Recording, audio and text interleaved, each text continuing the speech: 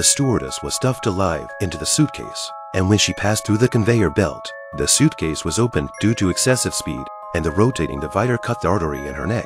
And by the time she was transported out, she had already died due to excessive blood loss. To verify this speculation, the police came to the luggage compartment on the plane and found a secret door with a strand of hair caught in it, the same color as the flight attendant's hair. It was hypothesized that the flight attendant would have had her hair ripped out by the hatch when she was thrown from here into the baggage compartment. After coming up through the secret door, she was thrown into the first row of the airplane's first class cabin. However, after investigation, it turned out that there was only one passenger in the first row, and that person was none other than the air marshal on the plane. According to his statement, the plane had a violent up and landing. He had been calming passengers to not know what happened during the period. The police also found the stewardess to understand the situation. The stewardess said that the stewardess had recently had a very unstable mood